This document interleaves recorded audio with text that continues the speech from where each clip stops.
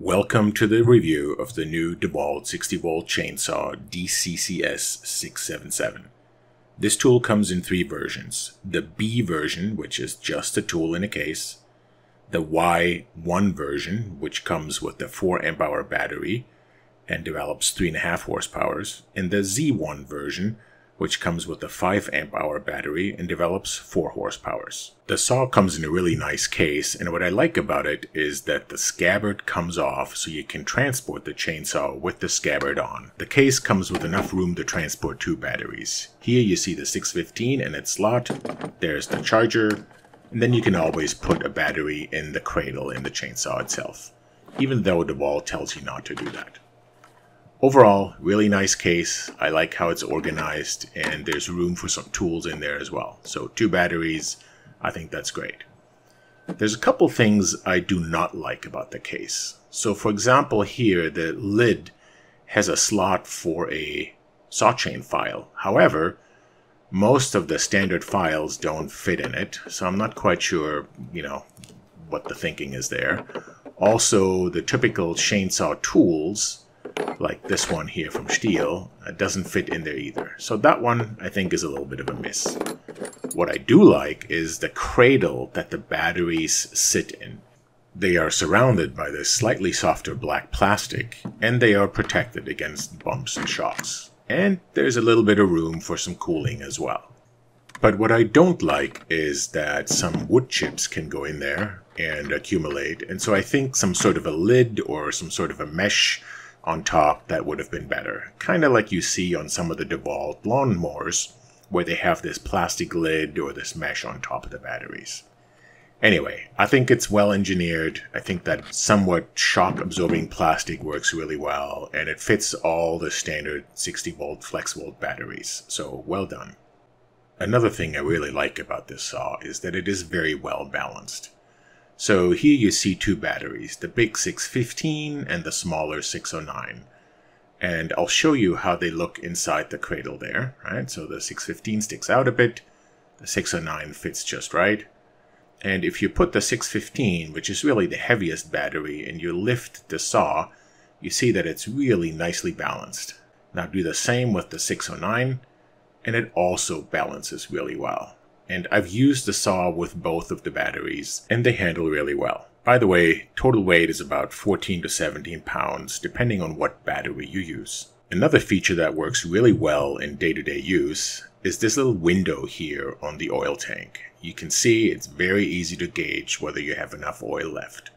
One thing that doesn't work so well is the multifunction tool that comes with the saw. First of all, I think the tool is too small, and then it's stored in this slot in the handle. There's this little plastic tongue that kind of keeps it in there, and you can pull it out. Honestly, I think it'll fall out somewhere in the woods and will get lost. And I also think the tool is just too small. So here you see the typical chainsaw multifunction tool like Stihl, Husqvarna, all the other guys have. And you see the DeWalt tool in the front. It just doesn't have that much leverage. It's kind of small and I think they cheapened out on this one. So I would prefer a full size kind of wrench tool like Stihl and the other guys have.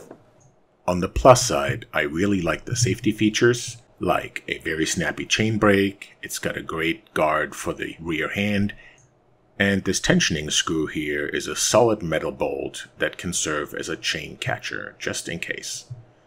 Let's open this up and look at the build quality. So you can see right away it's got nice bumper spikes there. Everything is metal where there should be metal, right? So these inserts here are metal. The bolts are metal. Everything that I think has a lot of load or is subjected to stress is made out of metal. So that's nice to see. Look at the drive shaft here and look at this tensioning bolt. Really, really nice, solid you know, this is just really high quality. And that drive shaft, I think this is one of the beefiest ones I've seen in a while. So that's great to see. That should last a very long time. But it's not all perfect. So here you see the chainsaw cover from Stihl, and you see those nuts and inserts. They're engineered so they don't fall out. On the other hand, the DeWalt cover the nuts and the inserts do fall out, and I think they might get lost in the woods in the long term. What I do like is the oil pump. That works really, really well. It's got nice pressure. And if you look at the saw itself, it throws off a really nice, generous amount of oil.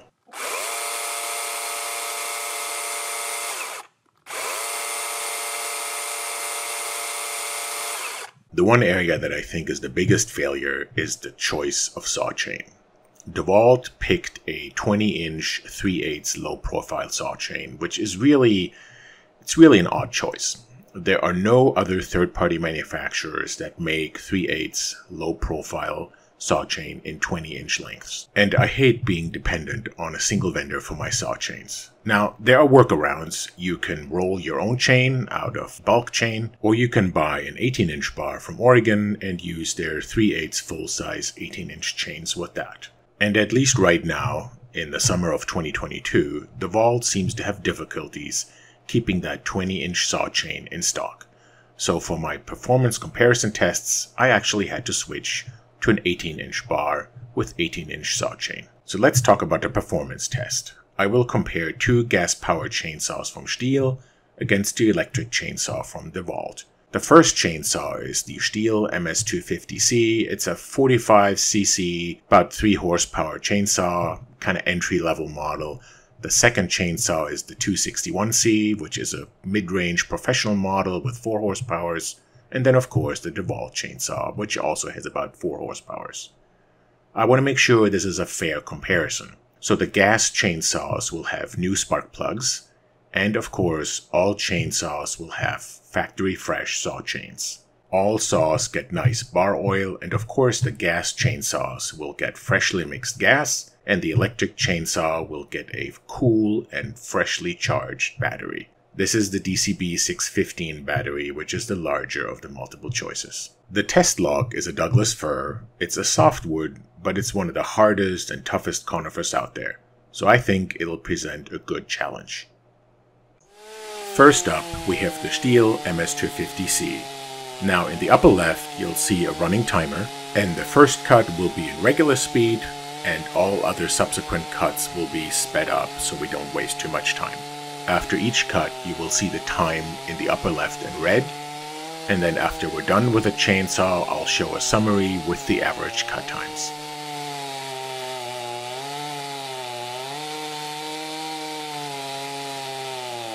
The MS250C struggles a little bit, it's just not powerful enough for such a big of a log. And uh, you can kind of hear by the sound that I almost stalled it a few times. But I made it through the first log in about 44 seconds. Not too bad. So now I'm speeding up the video of cut number 2 and number 3 so we don't waste too much time on this.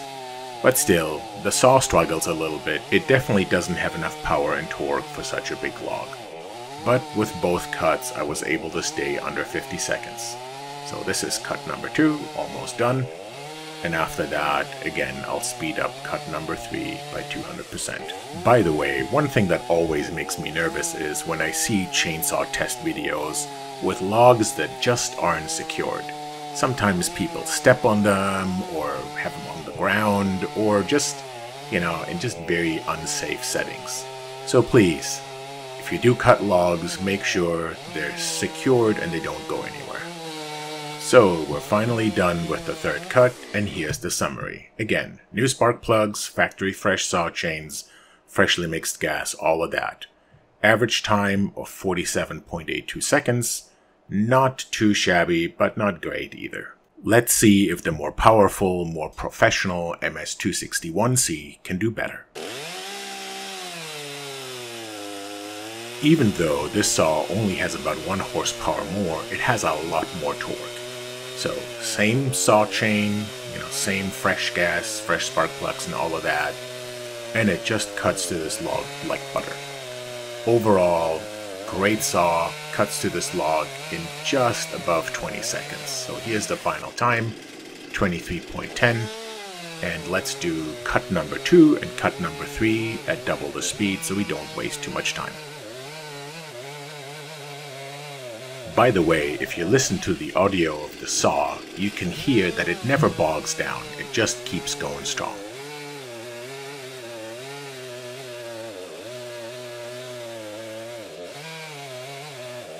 Okay, last cut is done, and as you can see, the MS261C was twice as fast. Average time of 2202 seconds.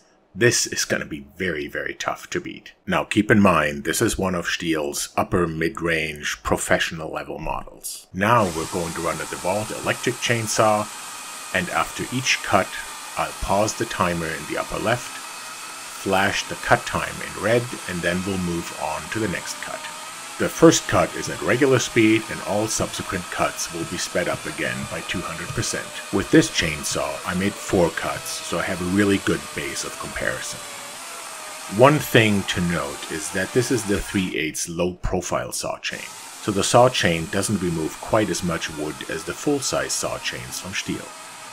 But what you can see in the video is that the saw does a really nice job ejecting all the sawdust on the rear. You can see that there. So it's very well engineered and I have to say the saw felt great.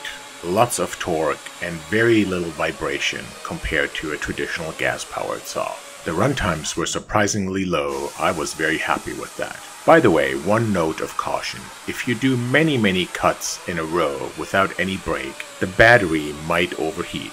So what I do is I keep a second battery around just in case. So here are the results for the DeWalt chainsaw. Of course, with a freshly charged and cooled battery. Average cut time 25.87 seconds. So just a little slower than the big professional gas chainsaw, but way faster than the entry level gas chainsaw quite amazing. So let's sum it up. What are the pros? First of all, the build quality is amazing. It has metal where it matters. This thing feels very solid. The warranty, by the way, is great. 3-year warranty, 1 year free service, and 90 days money back, so I feel you can't really go wrong with it. Performance is great, on par with gas of similar size. The safety features are awesome. Snappy chain brake, Great start and thumb switch combo, and the rear handguard is nice. With different sizes of 60 volt flex batteries, it's balanced well, and the oil level is easy to check with that little transparent window. The bumper spikes on both sides of the chain are nice, they work well, but there's room for improvement, and I'll talk about that in a second. And the chain lubrication is awesome. No leaks, by the way, from the reservoir cover. That was a problem in the past. And the battery cradle, I think, protects the battery quite well. And in the case, you can carry one battery in the saw and one in the case, even though DeWalt tells you not to do that for some reason. Not sure. Now, the things I don't like about this saw are mostly small nitpicky things and one big one. First of all, that supply tensioning tool is just too small. I think they cheapened out on this one. Plus, the slot that it resides in is not a great spot. I think eventually it'll fall out and you'll lose that in the woods. So I think there's a better solution. The bumper spike should be more aggressive, especially the bottom spike, so you can really let the saw bite into the wood and pivot it on that bottom spike. And then the nuts and the sleeves of that cover plate are not engineered very well. There's better solutions that prevent them from falling out, like Stihl and others do. If you ever have to take that plate off in the woods, there's a good chance you'll lose some of the hardware. The battery cradle can collect some wood chips, but that's a really minor thing, and the batteries can overheat if you don't take a break, so my recommendation is to keep a spare at hand. Now this last bullet is a big one. There are no other makers of a 20 inch 3 8 low profile saw chain, so you're stuck with DeWalt and there are no alternatives. Now, there are some workarounds, like switching to an 18 inch bar and doing another third party chain, or making your own 20 inch 3 8 saw chain out of bulk chain. But for a homeowner, this is not acceptable. So I really hope DeWalt can remedy their supply situation and get this 20 inch chain back into stock quickly. In summary, I think this is a great chainsaw, very well engineered, great safety features, a few minor nitpicks, and a poor choice of saw chain. The power is amazing, but it doesn't quite have the endurance of an equivalent gas chainsaw because the batteries will overheat if you don't take any breaks. Overall, it's a very high quality product, and I'll give it 4 stars. If you found this useful, please like and subscribe. Thank you.